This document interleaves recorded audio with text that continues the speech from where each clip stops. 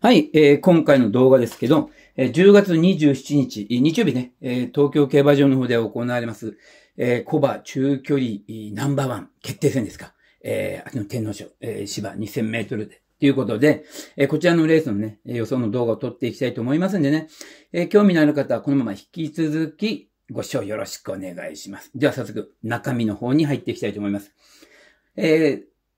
自分なりに過去10年、どんな馬が来たかな？というような感じで、ちょっと簡単ですけど書かせてもらいました。えー、まず前走、まずこれ一番重要ですね。えー、記念組。なんぞや記念組ということで、安田記念。宝塚記念。そして、札幌記念。まさに記念組という感じで。はい。えー、続きまして、えー、毎日王冠、もうここはね、毎日王冠組、これ王道ですね。えー、これ一応6頭っていうか、えー、1頭ダブっているんで、まあ、計5頭なんですけど、えー、毎日王冠組。そして、もう一つ、えー、前走グレード2、オールカマーと、まあ、京都大商店と、えー、ということで、まあ、こちら、1頭、1頭しかいないので、データ的にちょっとここ心細いんですけど、まあ、どちらも一番人気で、一着じゃないと、やはり、この大きな舞台で馬券圏内に来るのはちょっと骨だというような感じで、え自分は、まあ、ちょっと受け止めてるということになります。さて、さらに細かく書かせてもらいました。まず、さ、さっぱりね、安田記念、宝塚記念は、前走、着順は関係ない。もう何着だろうと関係ない。で、札幌記念は連帯が必須。これは連帯必須。では、上二つ。こっちは G1 ですね。では G1 は着順は関係ない。札幌記念。こちら連帯は必要だよ。という感じで、えー、過去10年見てみると、えー、こんな感じで当てはまると。で、続きまして、ここですね。こう、毎日王冠組は、えー、トライアルってわけじゃないんですけど、3着まで。ただしここ特例ありと。これが後でね、えー、細かく話させてもらうんですけど、はい。えー、こんな感じで、えー、前走、えー、どんなステップで来ましたかと。ただ、ここに乗っていない馬が、えー、4頭ほどいます。えー、2020年、ダノンベルーガーがダービー4着から、えー、そして、えー、2021年、大阪杯コントレール3着から、そして、えー、2020年、フェールマン、ハルテン、勝ち馬から、そして、かなり遡って2014年、えー、セントライト記念、イスラ・ボニータ。この4頭、いずれも2着か3着ということで、てっぺんをちょっと取れてないということになります。はい。これ全体、これね、これ全体、今言ったやつも全部、ひっくるめて自分が導き出した答えが、はい、こちらになります。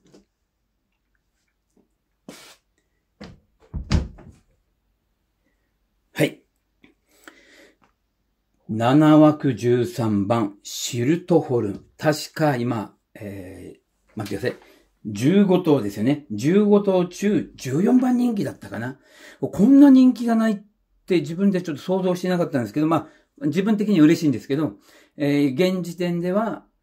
15番人気の14番人気です。えー、つい先ほど見たら、15番人気だった。まあ、どっちみち14番人気はまあ15番人気と。もう、ほんと2桁着順ということで。で、この馬をなぜ私が本命に思い印を打ったかっていうと、まず一つ目、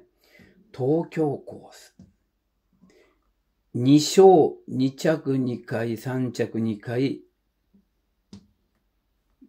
着外4回。これ、1006からまあ2000メートルということで。え？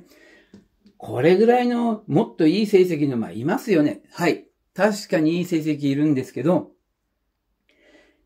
穴党として何か、こう、こぎ、こじつけじゃないですけど、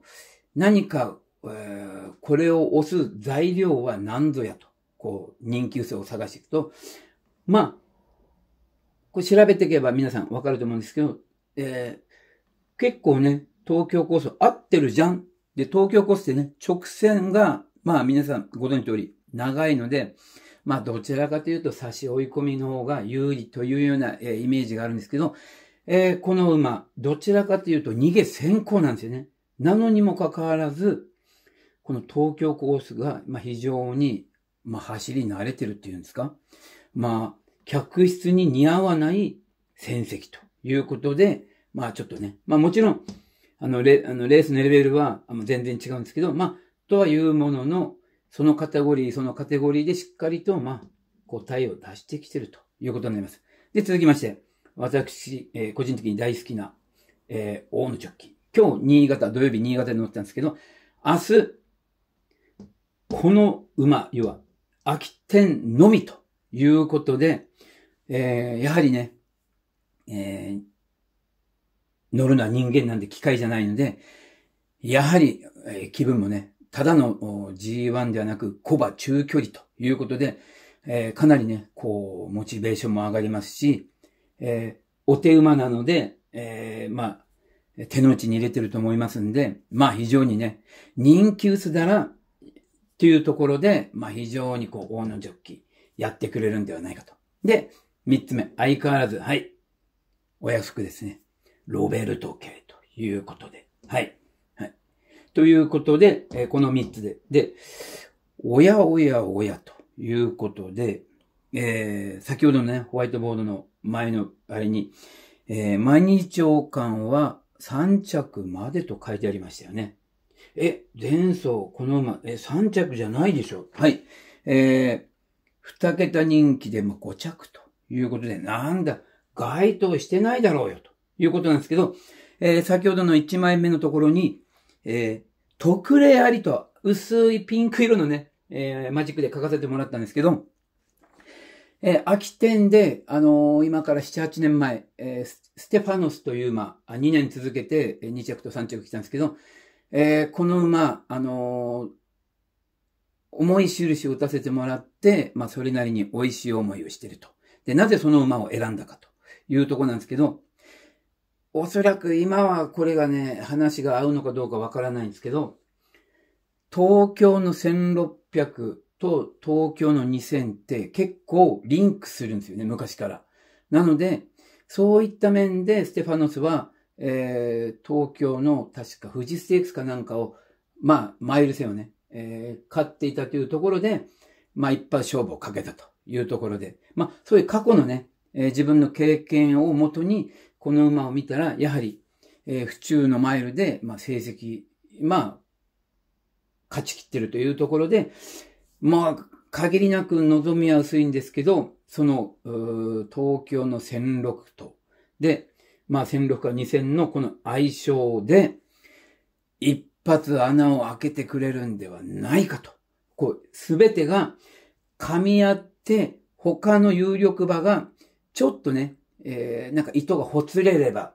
えー、こう、掲示板っていうよりかは、馬券圏内に突っ込むっていうよりも残るんじゃないかというところで、総合的にこの馬もさせてもらいました。はい。ということで、えー、買い目は、えー、13番から1、6、7、9、11、14と、えー、書かせてもらいました。あれ？あれあれあれ？一番人気の12番の12がないですね。そうです。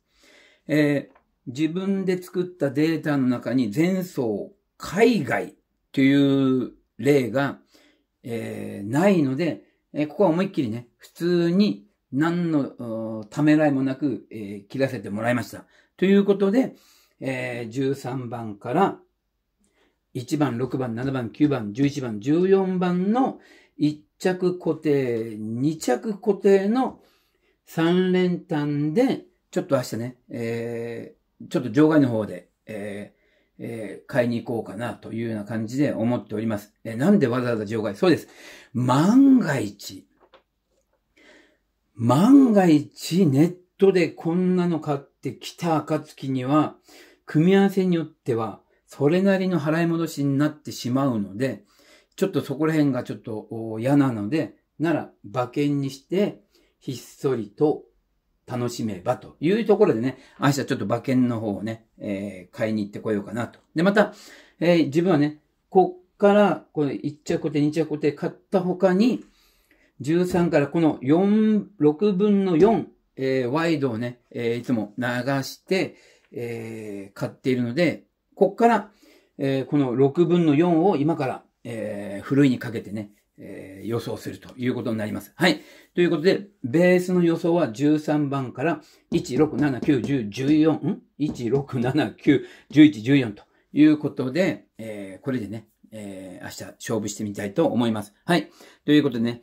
おいおいおい、ほんとふざけてるなって思うんでしょうけど、本に至って非常に真面目に考えての、えー、答えがこれなので、えー、来なくて当たり前っていうような感じで、最後ね、えー、見てもらえればいいかと思いますんで、よろしくお願いします。はい。ということでね、えー、今回もちょっと長くなっちゃったんですけど、えー、以上で、えー、天皇賞秋の予想のね、動画を終わりにしたいと思います。え、今回も本当に長いですけど、最後までお付き合い、本当にありがとうございます。ではでは。